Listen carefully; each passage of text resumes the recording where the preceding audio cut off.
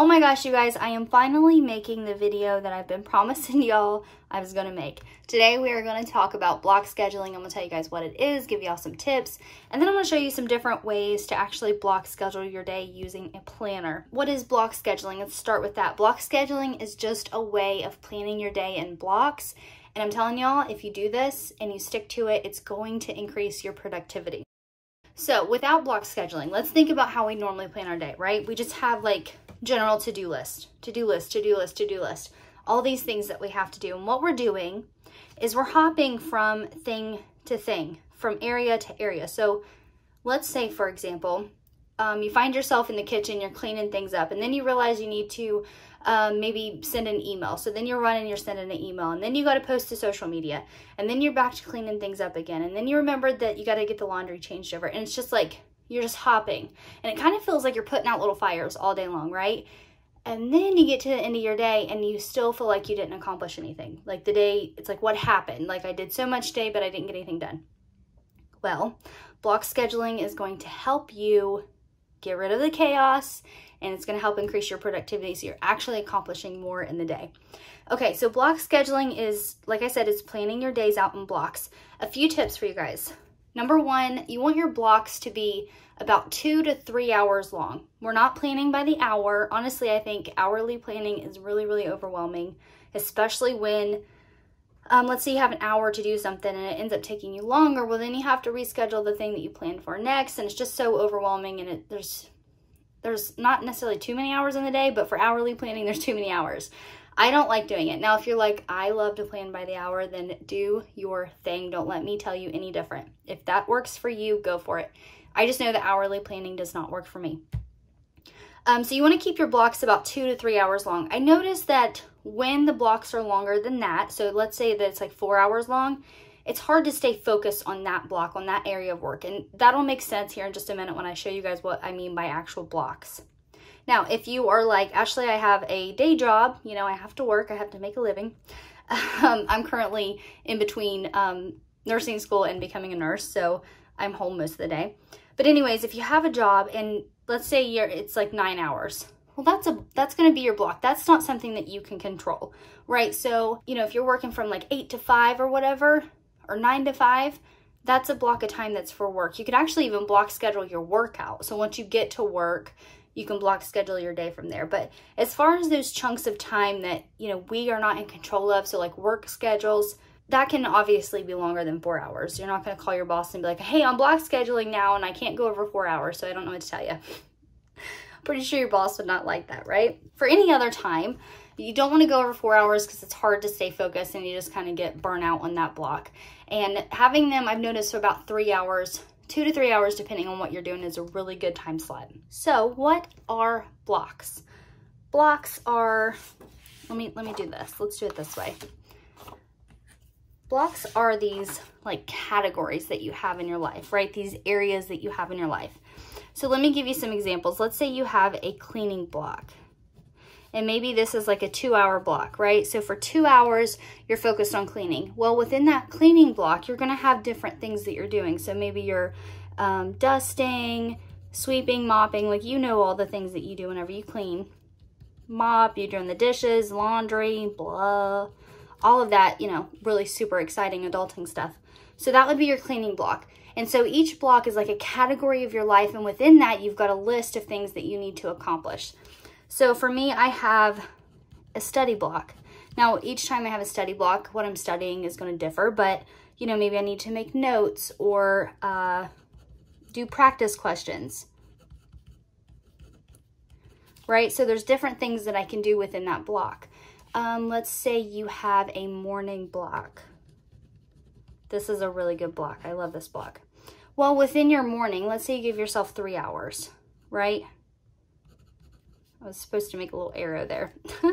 Let's say you give yourself three hours for a morning block. Well, you're going to get up. Maybe you're going to drink your coffee.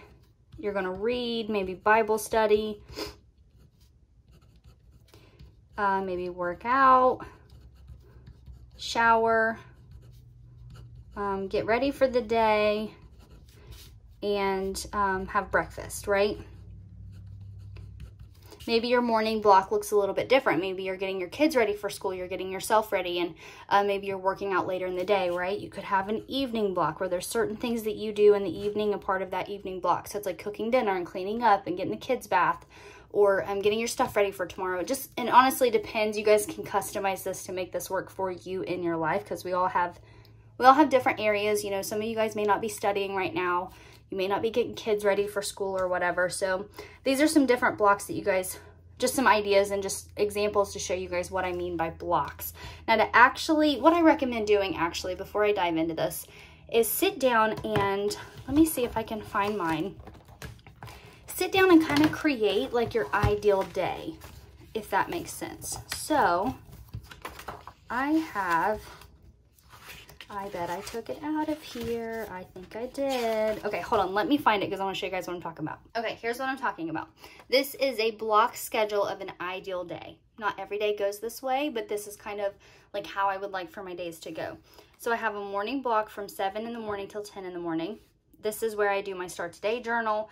I plan my day, I do a Bible study, um, I do my workout, shower, get ready, breakfast, and then if I have to lay out anything for dinner out of the freezer, this is when I would do it. And then I have what I like to call my work block. I'm not actually going to work. Like I said, I'm in a transition right now. So I am home, but my work right now is content creation. So YouTube, social media, Instagram, that kind of stuff. This is where I can plan content. I can um, post different things. Um, create graphics, take photos, edit those photos, film videos for YouTube like this one. And then I have like a lunch block here. This is where we have lunch, we clean up, I play with my kiddo, just hang out. Down here, if I need to clean, this is different things that I can clean. And then I have a study block, which is studying. From 5 to 7 p.m., I have a hangout block. This is where we hang out, and then sometimes it's yard work. It just kind of depends. I have an evening block from 7 to 10. This is where we have dinner. We do um, get our bath, showers, water the garden. We get to bed. If I have any team calls, um, and then I have my evening routine written down here. And I even schedule out sleep. So from 10 p.m. to 7 a.m. is whenever I am sleeping. This is what I recommend doing is figuring out what blocks, what categories, what areas you have in your life, and then making a list of the things that you need to do for that area. And you can create your own little ideal schedule like this one. Obviously, not every single day is going to go just just right and it's not going to be perfect, but this kind of can help give you a guide. This will also help you from forgetting different blocks and stuff. So a way to actually block schedule each day, let's say you don't have this. Even if you have this, I have this and I still use this. This is a happy planner and this is the hourly layout. So it goes from 6 a.m to 8 p.m. And so um, let's get, yeah, we can use this week because we are now back here. I actually stopped using this for a few weeks and you guys, the weeks that I don't block schedule, I'm telling you, my days are chaotic. So let's say that I have a block, like I said, from, it would normally be from 7 to 10. And I would say this is my morning routine or just morning block, it doesn't matter. So I know from 7 a.m.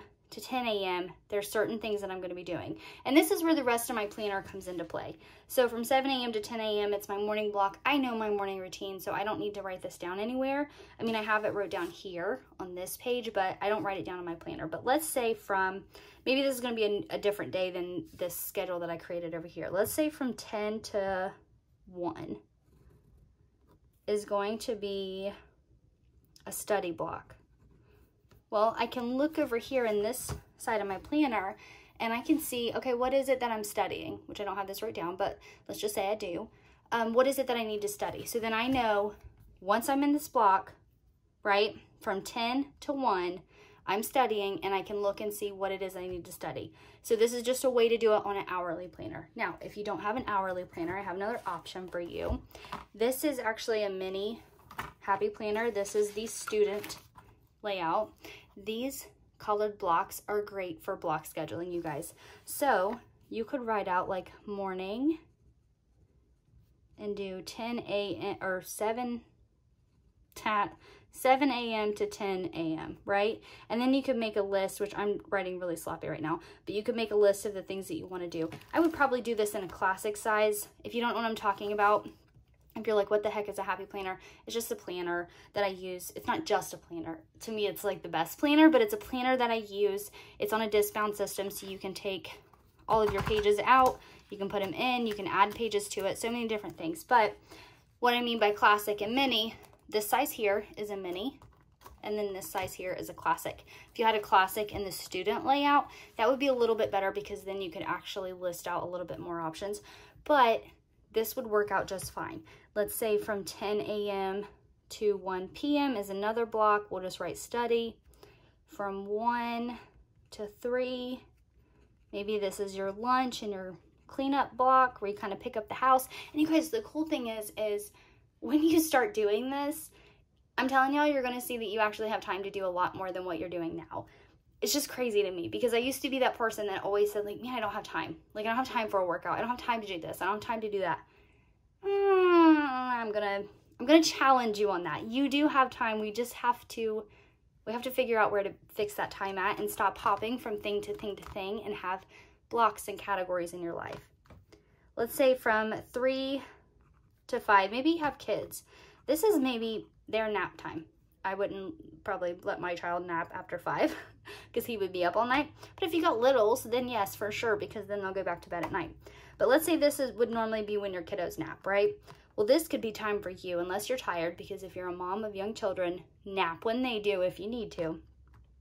But let's say maybe this is where you get caught up on stuff that you want to do. Maybe this is like your creative block, right? Where you come in to your office, you're hanging out, you're planning, you're doing um, things that you love to do. Maybe you're getting creative with stuff, you're painting.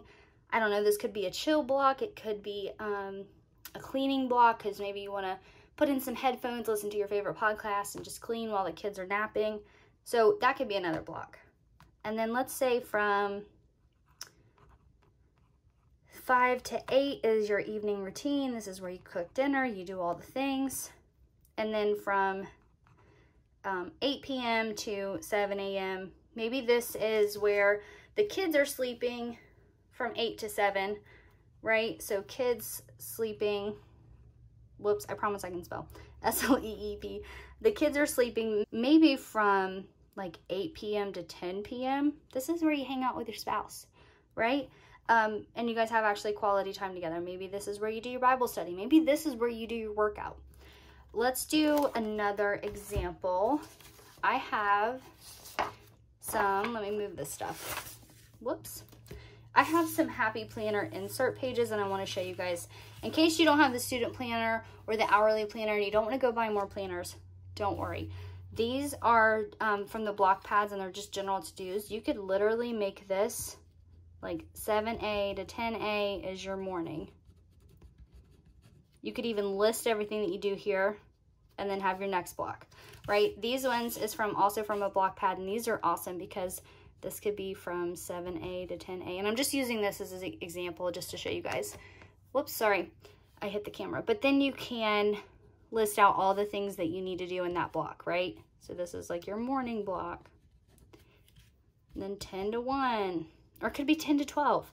And then like 12 to 3. This is like your lunch block. This is where you hang out with the kids. Um, this is where you eat because it's lunch the clean up. This maybe is where you're going to get laundry done. This maybe is where you're going to get your workout in. You know, uh, maybe the at three o'clock the kids go down for a nap, and so from like three to five, like I said earlier, this could be your time to do stuff. And so this is a great way to do it too. Now, if you don't have any of this stuff, if you're watching this video and you're like, I don't have any of these planners, I don't have any of these inserts, no problem. Don't stress. You don't need this stuff to create a block schedule. Let me show you. So I have a piece of printer paper and we are just gonna block out our day. This is not gonna be cute, but it's gonna work. Super duper simple way to do it. So 7A to 10A, morning. List everything out that you need to do for the day. 10A to 1P. List everything out. Do you see how I'm just creating this? It's not cute, it's not pretty, but it works. And it's just like, sometimes it's like, just get the block schedule done and get started with your day. So that's an option. You can also, which I don't have one on me, I used to do this, I would actually create them on Microsoft Word. So you just insert a table on Microsoft Word and then um, you kind of create this right here. Here, let me show you. You could create it at a table on Microsoft Word and then just kind of create this layout and block out your day and print it off and then try to work every day towards that.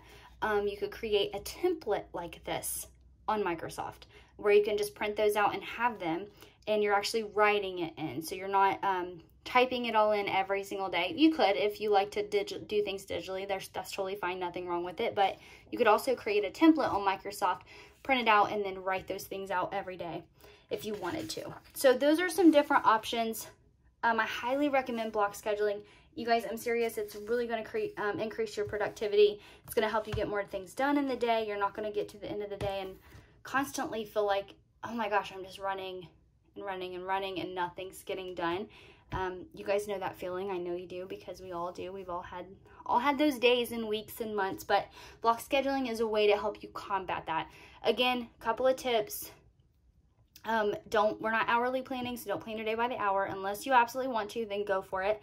Keep your blocks about two to three hours long. If you have to go for three hours, don't stress. It's all right.